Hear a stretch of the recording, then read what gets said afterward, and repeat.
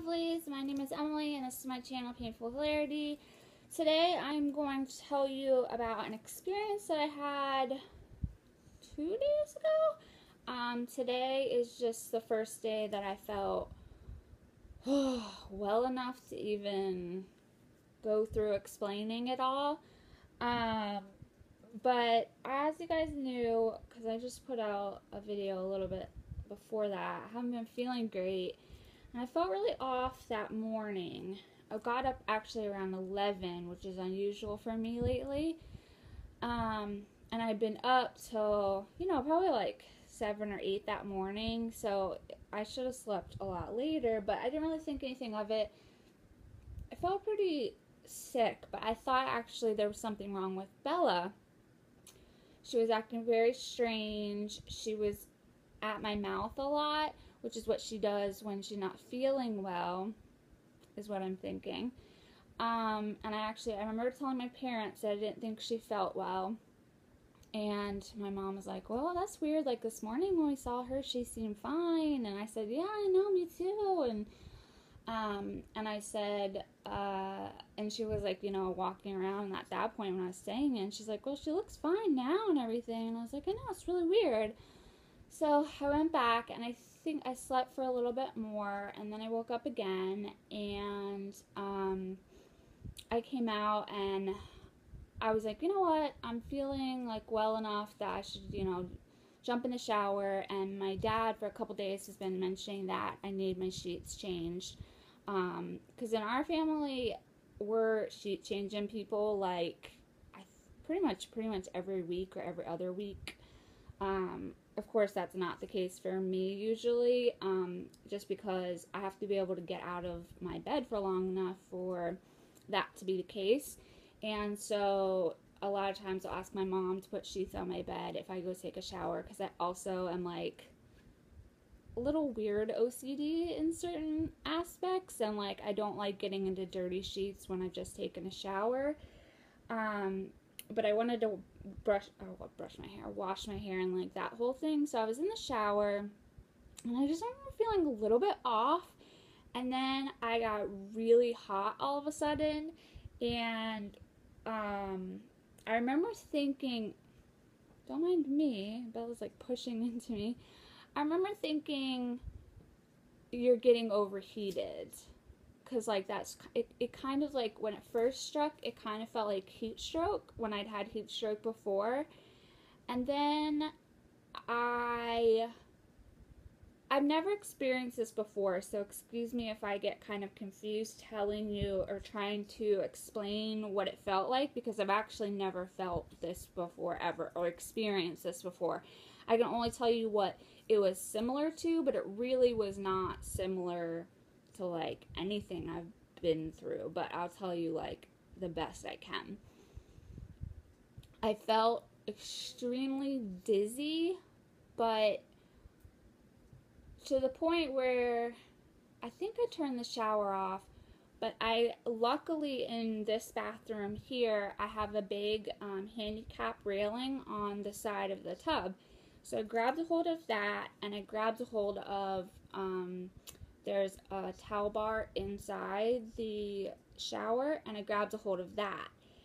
Uh, but I couldn't, I was like kind of over, and I yelled for my mom. And luckily, in this house, you can hear a lot better. Um, and she was like, Yeah. And I said, I'm really dizzy. And, uh, and she was like, okay, let me get, like, you know, she didn't really know what was going on. Like, dizzy, I mean, I get dizzy, you know, all the time. Like, especially being in bed and laying down so much. Like, you get head rushes, and um, I faint a lot, and like, I get. I don't drink very much, so I get dehydrated a lot. Like, I'm dizzy a bunch. Um, but this was like way different. I couldn't get my bearings, and I felt like I was on a rocking boat. Like it wasn't like dizziness that kind of makes you like like sick to your stomach. It was like for me at least, and I know this feeling very well. This is the bit the closest I can think to it, but like majorly worse is like when you've been at the ocean all day and you've been in the water all day and then you go and lay down and it still feels like you're in the waves. But it's not like it wasn't a pleasant feeling like that. But it did feel like my body was there was movement when it wasn't like it felt to me like my eyes were going back and forth. I don't think they were, or else I think that would really disturb my mom. But my mom said I was saying very strange things to her. I don't remember saying weird things to her. I remember kind of being out of it because I remember one of our dogs was in my room, but maybe he wasn't because normally he's not. None of the other dogs come in my room. And I remember when I was petting the other dog, um, I remember thinking, whoa, this feels like when you pat your head and rub your stomach at the same time, except for I was just petting him. So I think that I was really disoriented. And at this point, my mom had gotten me out of the shower, like, I don't actually know, towels. And I think I was in like a robe or something. I don't know. All I remember is I got safely to my bed, which is all I was concerned about. And, um, yeah, so I think I was really feeling like I was moving a bunch. And so petting him felt like a lot of coordination. I don't know. So I did start to settle down as far as feeling dizzy and whatnot. My mom gave me, because when I go to the doctor, sometimes when they take blood, because I have such an irrational fear of um, needles and I'm dehydrated a lot.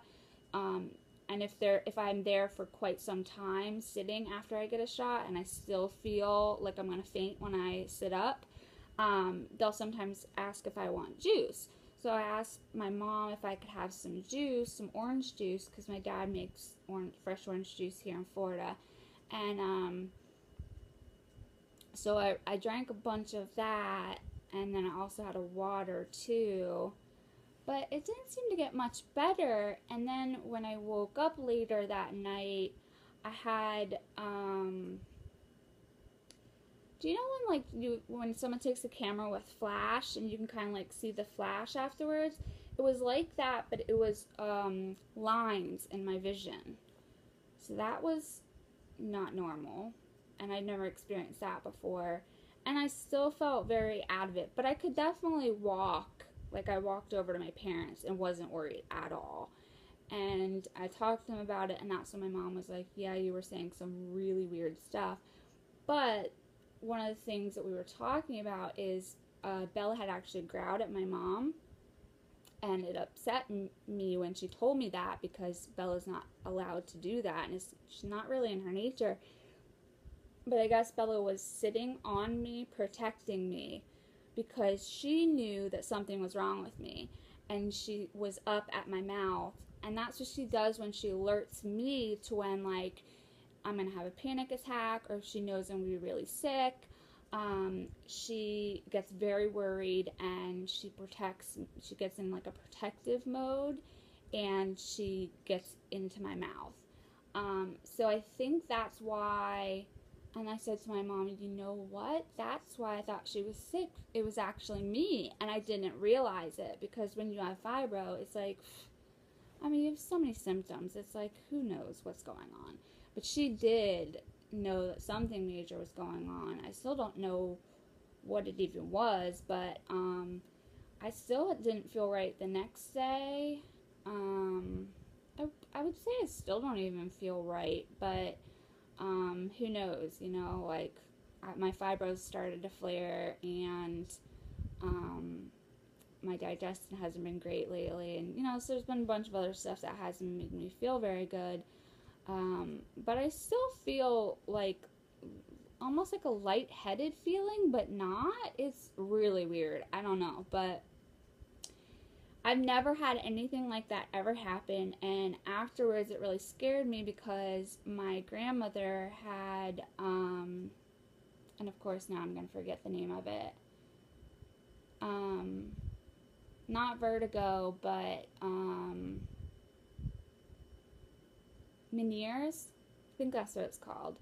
Um, and so I mentioned that to my mom because I was kind of thinking, like, what age was she when that started happening stuff? Because I know that my mom brought, talks about it a lot because of the treatment that she got. Because we talk about how like everybody's treatment is so different and how, and for this particular thing, she got really weird treatment for it, and um, it worked really great for her. And it's just like we always talk about how like it was that's so weird, you know. And um, so that's the only reason I remembered that she even had it because I don't like actually remember her like having it or having to lay down because of it or like anything like that.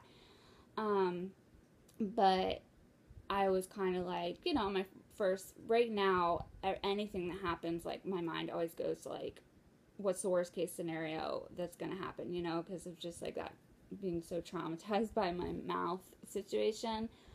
Um, but she was like, no, you know, that's not the same thing. And um, but what I told my mom was is that I've been having such stomach problems lately. I've been so sick to my stomach, and but when I was going through all of that, I remember thinking it was really weird that I didn't feel sick at all. Like it wasn't the type of dizziness that I'm used to or have ever experienced before because usually that makes me feel really sick. Any kind of dizziness. Like it's like why I didn't like to drink too much because if I drank too much and like you know that when you you get the spins, that's what they call it. Like you lay down and you get the spins, like I would throw up like immediately, like and not stop for the whole night. Like I was not fun to be around if I drank too much. Um, just because of that. Like I could be completely fine and sometimes I would stay up just so I wouldn't have to like lay down and feel that.